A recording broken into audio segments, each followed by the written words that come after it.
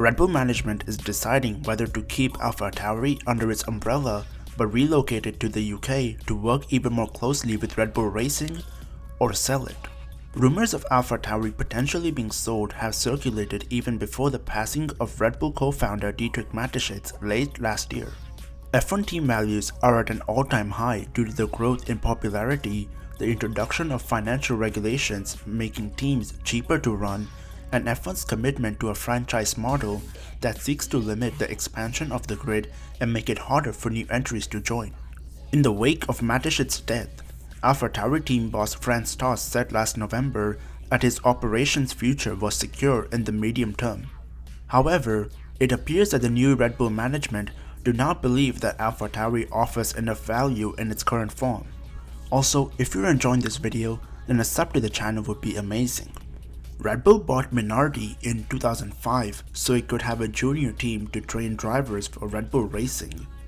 While Red Bull Racing has grown into one of F1's best and most successful teams, winning both titles last year, the now second Red Bull team has never been more than a midfield runner.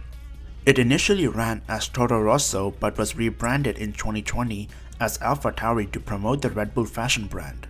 In the cost cap era, the benefit of owning two teams was meant to be that as Red Bull Racing spending decreased and prize money was more evenly distributed among teams, Red Bull would have two profitable entities with AlphaTauri able to become more competitive.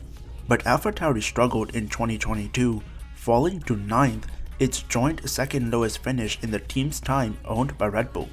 While AlphaTauri is based in Italy at the ex-Minardi headquarters in Faenza, it has an aerodynamic department office in Bicester and uses the Red Bull wind tunnel at Bedford. There are some complications with the arrangement such as less synergy than the rules allow because AlphaTauri saves money building certain components that are cheaper to make than to buy all the Red Bull racing parts at a higher nominated fee mandated in the rules. AlphaTauri is yet to acknowledge the speculation, but it appears to have caught the team off guard. So do you think Red Bull will sell AlphaTauri? Let me know in the comments below. Now check out the dark side of Drive to Survive by clicking on this video.